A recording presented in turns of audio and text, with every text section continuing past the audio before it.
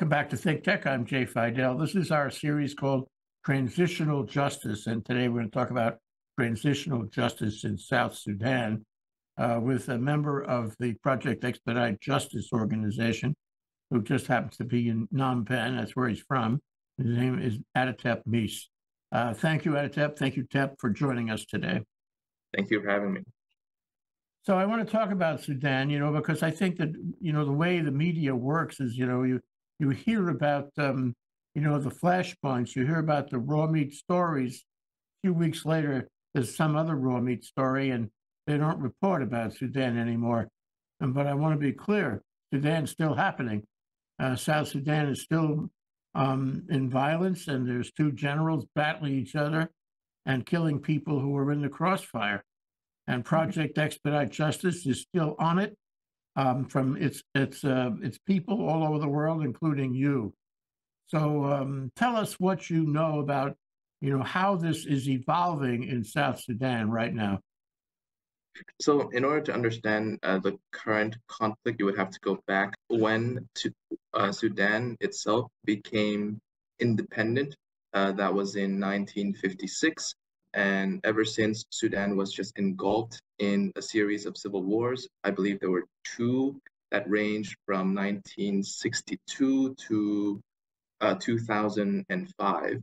Uh, and in 2005, that's when peace talks started to take place. There was this drafting and almost um, the adoption of a comprehensive peace agreement called the CPA, which would uh, be a resolution for the northern government and the rebellious south uh, to agree on peace, essentially.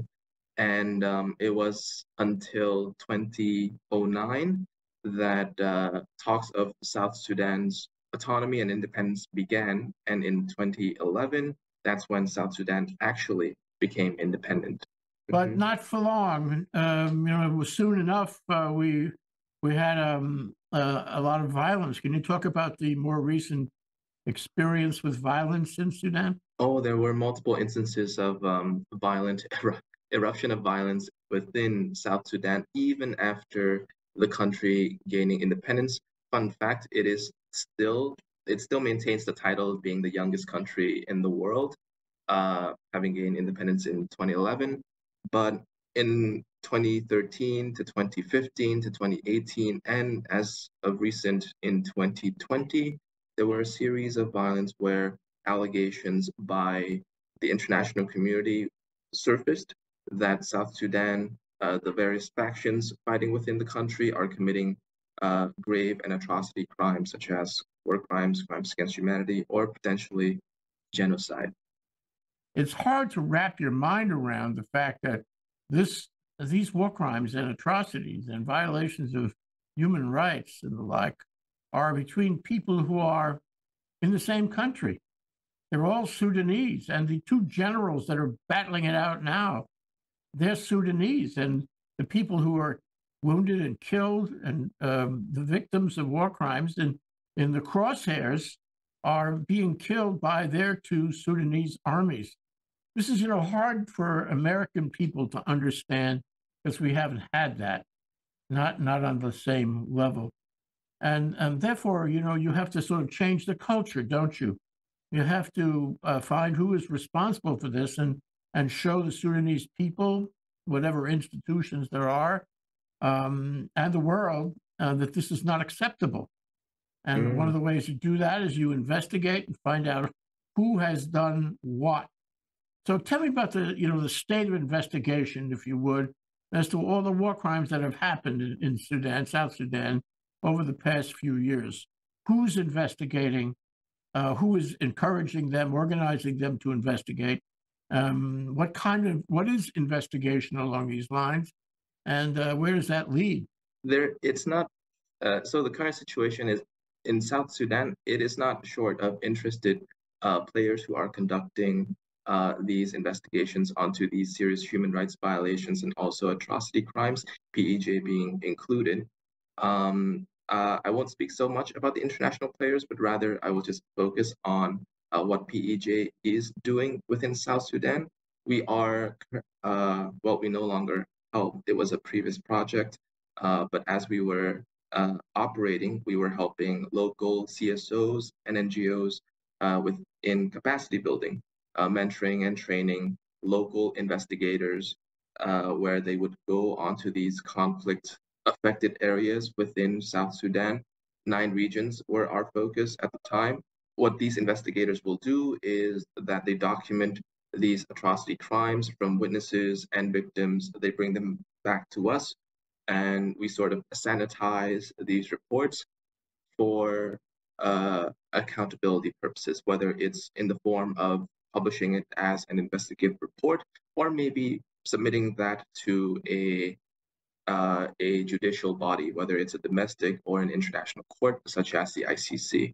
Yeah, the ICC, we, we've been covering that a little bit and uh, finding out that the primary method of referral of, of uh, war crimes to the uh, for the prosecution of the ICC is done by the United Nations, even though the, Mhm. the two are distinct organizations. The United Nations is where the um, the charge comes from, so to speak. But the United Nations is locked up because in the Security Council we have two wayward members at least, and uh, one of them is uh, Russia, one of them is China, and they they don't particularly want to go after war crimes because they are conducting war crimes themselves, and it's understandable. Um, so the problem is that the United Nations doesn't refer a whole lot of cases to the ICC. Um, there are other arrangements, other possibilities for referring cases um, by the prosecutors themselves and others in the community. But it, it uh, strikes me that uh, there are so many places in the world that war crimes are being investigated, but the ICC hasn't had any trials. It hasn't Mhm. had it hasn't had any live, uh, you know, uh, live prosecutions. It, the only places you can think of lately is uh, Germany, um, where they they uh, prosecuted a Syrian general a year or two ago, and that and that was uh, somewhat encouraging. And then France, where the um, Supreme Court of France uh, has been, mm, you know, behind a legal wall, and uh, it, the up till uh, just uh, this year, the Supreme Court of France uh, really didn't allow for a lot of war crimes prosecution under the notion of universal jurisdiction, but they changed it, and we'll see what happens. I think Mhm. France has a way to go to get to where Germany is. Um, And of Mhm. course, you know, you can go into the country itself. You can go into South Sudan to the extent there are institutional, you know, institu- institutions that can actually prosecute and conduct trials. Um, But Mhm. there's not a whole lot of options.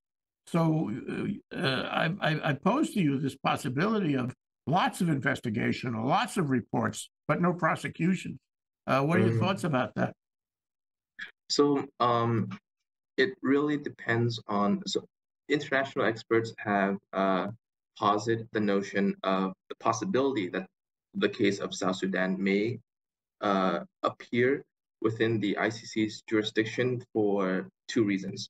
First, by way of Article um, 12, Item 3 of the Rome Statute, which the ICC may incur its jurisdiction onto uh, South Sudanese perpetrators which may possess a dual citizenship, especially with a country that is a state party to uh, the Rome Statute. As of current, South Talking Sudan about universal jurisdiction in, in Europe, right? Um, it could, uh, it- no, it's more about uh, the principle of complementarity under the Rome Statute. So uh, the ICC can prosecute those who possess dual citizenship uh, if the other citizenship is of a country that is a party to the Rome Statute. So this is similar to the, uh, it- it's an analogy, it's not a direct example, but really, uh, I think to bring the, the the closest example that I can think of is the case of Myanmar and the Rohingya Muslims, where uh, even though the ICC does not have jurisdiction to look into the situation of Myanmar, they have conducted investigations um, onto the Muslim victims that have crossed the Myanmar uh, border into Bangladesh. Bangladesh being a party to the Rome Statute. So similar situation may happen, uh, but it is very slow. Second is an even slower solution. Um, not sure whether it's even a possibility, but it, it is to await the election of a new leader um, that would possibly ratify and consent to the ICC's jurisdiction, um, and possibly could also agree for the ICC to look retroactively into crimes that took place even before um, 2013. So those mm. are the two possibilities, but there are a lot of geopolitical issues uh, with the ICC and also African leaders, especially with the recent backlash of them thinking that the ICC is very biased towards African nations. Mm. Well, you know, the problem is that um, you know the world is watching.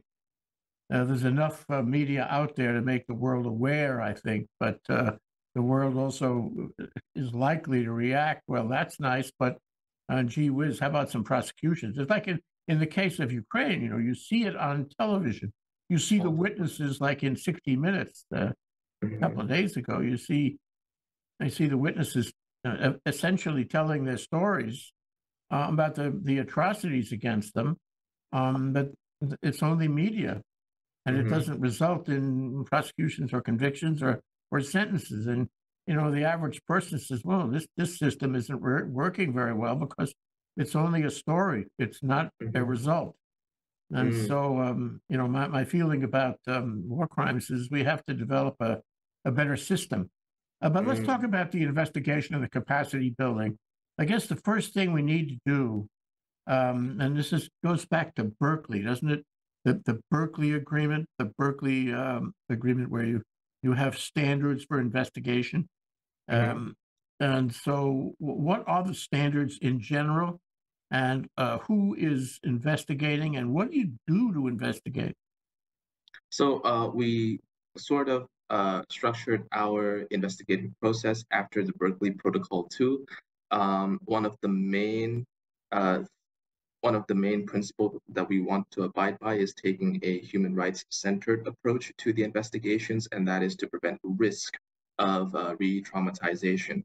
Uh, I forgot to acknowledge too that PEJ's role with it, with its investigations onto the situation of South Sudan, we do place an emphasis on gender-based violence, which uh, the risk of re-traumatization is much, much higher. Um, you mean like against women? Against women, yes. Mm-hmm. And young girls too, because when you hear uh, these stories, it just angers you.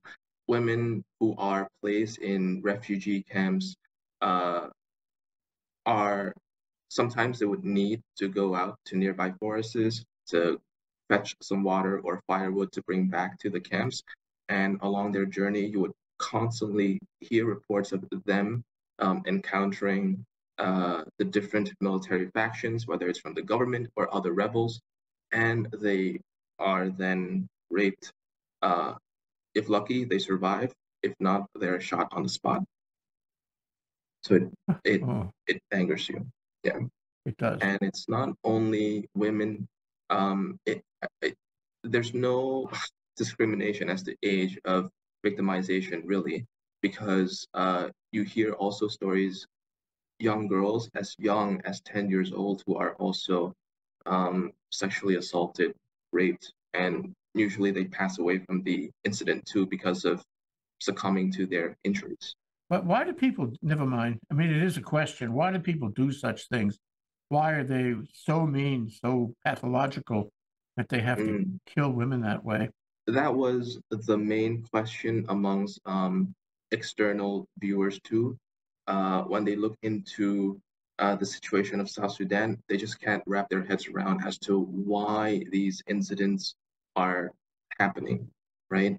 And um, throughout my work, it appears to be on an ethnic basis where even though South Sudan is very ethnically diverse, they're also very loyal to their ethnic groups. So anyone who is outside of their group, they would be, they would not treat them so fairly. So uh, PEJ is investigating. Uh, PEJ is, um, um, you're in uh, Phnom Penh, um, and and we have uh, other other uh, PEJ uh, people we've talked to who are out outside the country, and like for example in Kampala. Mhm. And um, how can you investigate at long distance that way? Uh, how can you encourage the investigation or organize or train investigators remotely that way? Mm. I would want to be privy with uh, the namings of our partners too, but we do have uh, um, we help these local investigators. We sort of get connected to them, and uh, we sort of host calls on a biweekly or sometimes a monthly basis just to check up on them. Uh, they document these atrocities. They put it in a Google uh, Doc form or a Word document.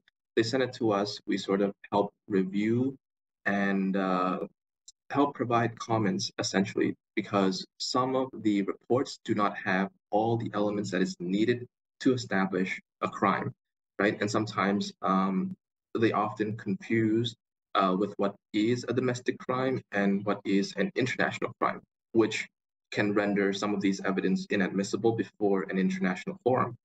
Um, and so we sort of help guide them to to drafting these reports to be admissible and as clean as possible before being submitted for an international judicial body.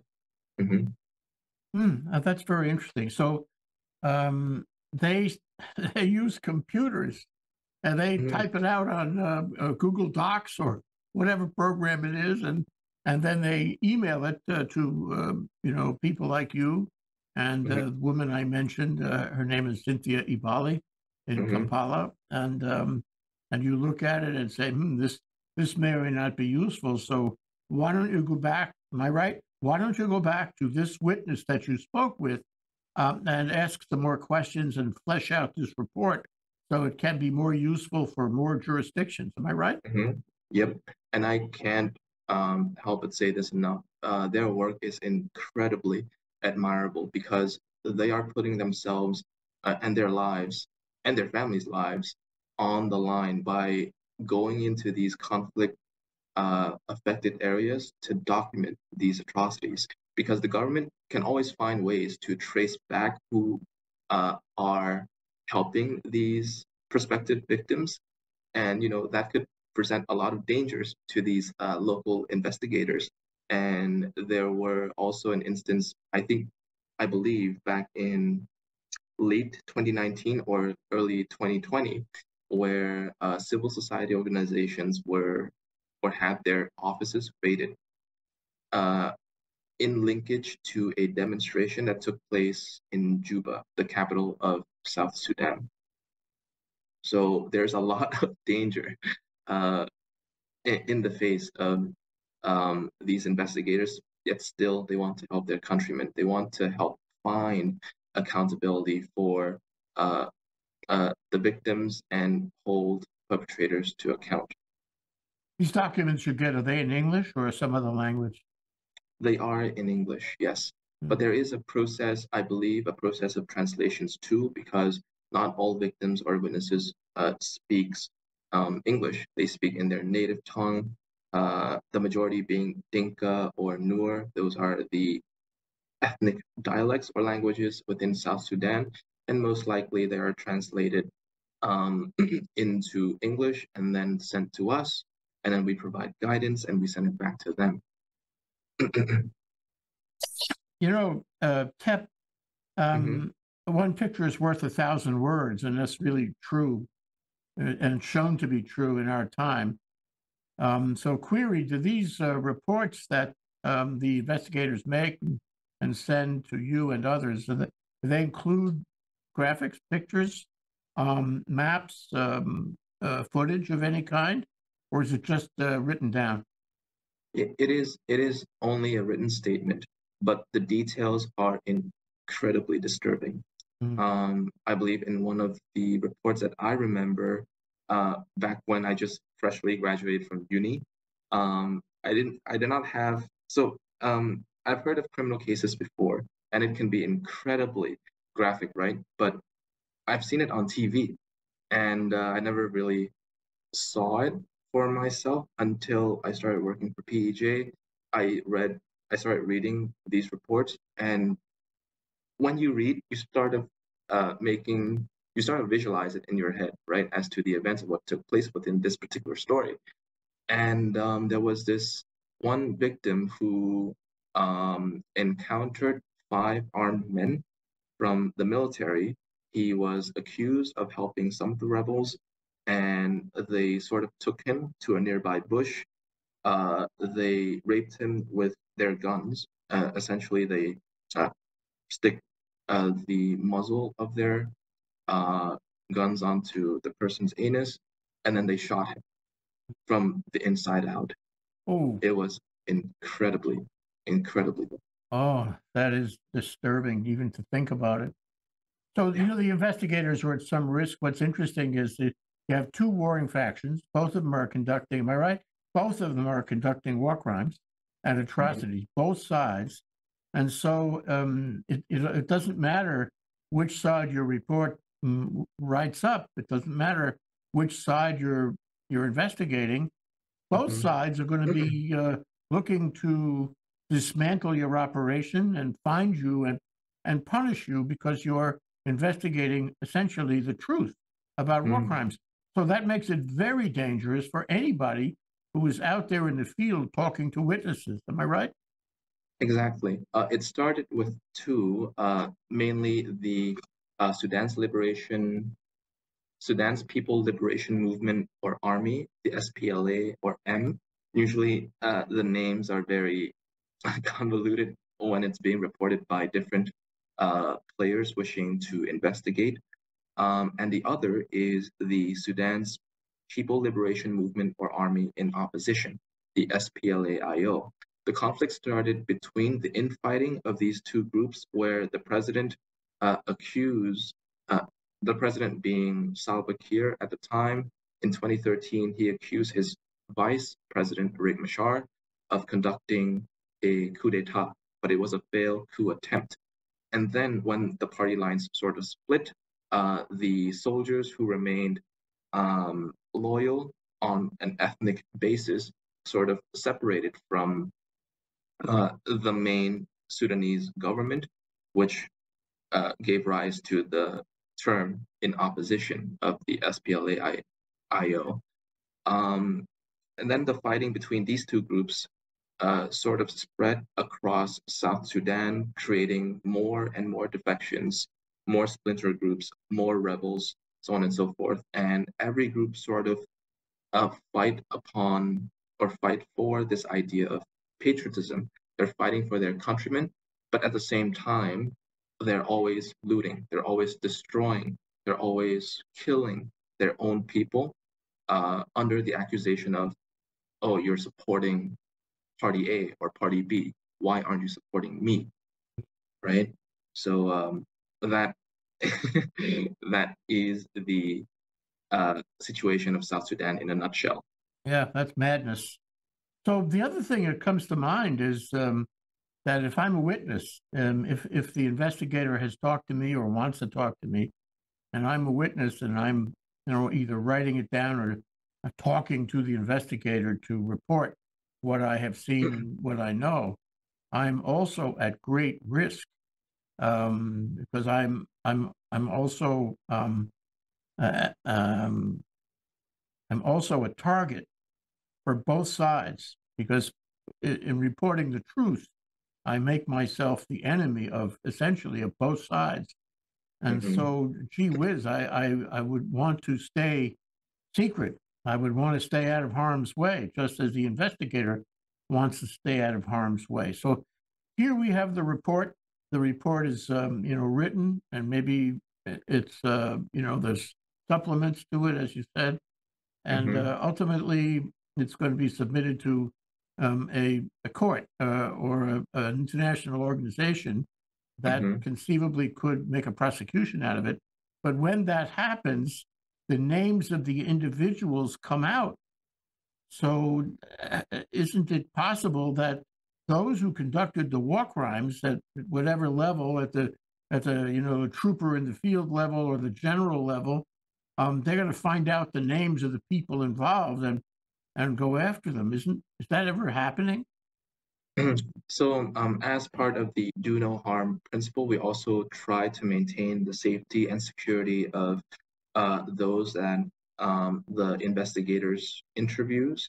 And essentially, there's a process of redaction where their names, personal, uh, and other personal information are redacted, but they are withheld by the um, investigating organization. We're not the ones um, conducting the investigation. Rather, we help uh, the investigating organization, uh, we help guide them as to make good and sanitized investigative reports to be admissible before a court. Speaking of a court, I forgot to mention that um, there was this prospect of the establishment of a hybrid court within South Sudan. A lot of people have been longing for it. It is also part of the peace agreement. Um, when uh, all of this conflict sort of broke out, but there is this constant lack of political will and also um, you know it's just perpetrators knowing that they will be prosecuted someday uh, that they do not want to have this be successfully executed because they're going to be facing jail time mm. is there a death penalty in the law um, i cannot recall i do not think so within uh, south sudan's uh, constitution Mm. So um, the other thing you mentioned is trying to achieve the, the trust of the people involved, uh, to socialize it not only among the investigators, but among mm-hmm. the witnesses. How do you do that where, where, when there's such a risk for them to um, tell you what happened? Uh, how oh. do you make them trust your investigator and trust, you know, all the organizations involved? That is also incredibly difficult because uh, there was an assessment done by the South Sudanese Law Society, and um, they surveyed what people think. Uh, what is the definition of transitional justice or justice in general within the context of South Sudan? Some people wanted the war to end, others wanted uh, accountability. But these groups do not, uh, there seems to be no consensus. They're so extreme on both points where the people who are not affected by the conflict just wants the conflict to end and the victims just wants accountability. So it is incredibly difficult and um, incredibly stagnated but we can only hope that in due time progress is made and um, justice is served well you know what uh, of course i think it's valuable for people who are conducting war crimes to know that they are being investigated um, and that one day they may wind up in jail and um, you know lose lose their lose their liberty, their freedom, mm-hmm. uh, and be punished. Um, mm-hmm. and and maybe that um, you know maybe that is a factor in in what they do and for how long they do it. But mm-hmm. you know, it strikes me that the, the threat of uh, accountability uh, may not be the solution to a, a civil war, may not be the solution to people who are out there uh, killing and, and raping and, you know, doing atrocities every day. Um, so the question I put to you is what, what role does, does that, that is the investigation and ultimately, hopefully, the prosecution of these atrocities, what role does that play in the larger um, what do you want to call it, historical process, the process mm-hmm. by which hopefully someday this will stop. Um, mm-hmm. What what will it take to stop it? I I can't say for certain because um, you you have in the transitional uh, process, you're going to have different groups with different competing interests. Um, that was also one of the question for uh, I believe, I forgot what the specific name was called. Um, it's a human rights, it's a UN Human Rights Commission that talked briefly about this. Um, and they also pointed out the issue of who to prioritize first. Uh, the two aforementioned group, the people who wants accountability, the others who wants just for the conflict to end, right? Um, but I believe uh, the first step to for South Sudan to take is to stop the fighting. Um, and it has been doing that, uh, to be fair to South Sudan, but there's still small scale fighting that is happening. It has decreased, admittedly, ever since um, 2020, I believe. Uh, but still, the small scale violence also produces more numbers of victims. More, uh, one is more than enough, right? Mhm. So, um, yeah, it isn't. uh, I, it, I I can't answer that question directly, Jay. No, I understand. It's, it- and, maybe it's unanswerable. You know, what, what, what do you do to, to stop the madness? Uh, Because it's, uh, you know, rationality is not necessarily a solution here. Mhm. Um, and I, I've suggested to other people who have appeared on our shows that maybe it's just a fatigue theory, where a society, including, you know, the war criminals, just get tired of doing it. And they find out there's really no, no, no benefit in it. Um, and they just get tired and, and it stops. Uh, Mm. After a time, nobody, you know, some people anyway would not be interested in doing that. They, Mhm. yeah, that's that's the only thing I can think of as a factor that would, um, that, you know, that would um, determine the end of the process of the of the criminal war process. So, um, okay, so I, I just uh, I want to know uh, um, about y- your view of this and how you feel about it. You you've alluded to that, and uh, I'd like to ask you. Uh, you, you know, you're you're Cambodian. Um, Cambodia has had its own problems. We've discussed that. Um, but um, how do you feel about what's going on? I mean, it's, it's also happening in Ukraine, and I suppose we could look at other places in the world where there are atrocities taking place um, on a regular basis. Uh, it, it must be a hard life for you to hear these stories, um, you know, examine the, the, the testimonies of the witnesses and so forth. Uh, it, it must get on your nerves, doesn't it? Um, it does. It again, it feels incredibly sad that uh, one person is so small and you cannot help um, in a conflict as big as a civil war.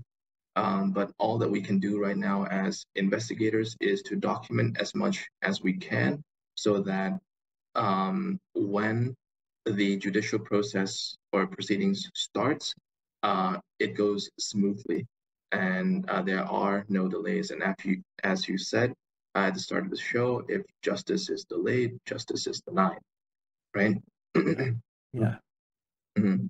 We we are doing the best that we can when it comes to uh, the investigations. And So what about that- your your commitment to to uh, to, to deal with this? Your commitment to to um, invest your time and your education, your interest uh, in dealing with these atrocities. Uh, what does it look like from here forward for you?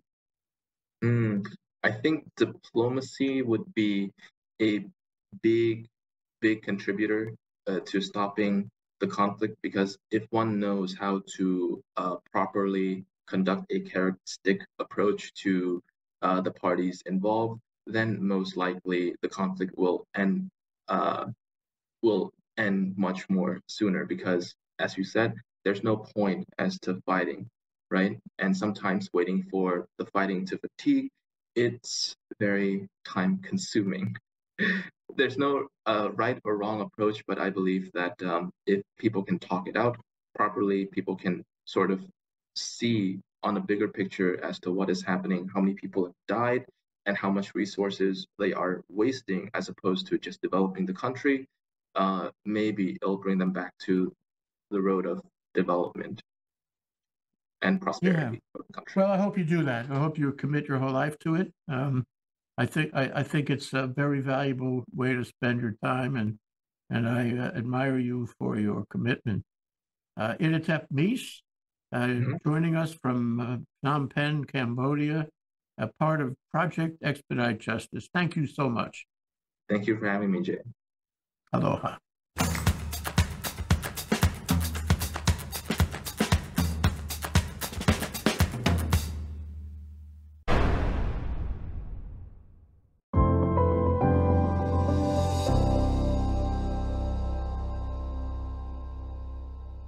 Thank you so much for watching ThinkTech Hawaii.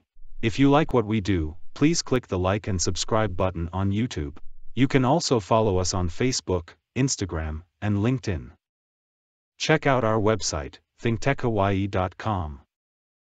Mahalo.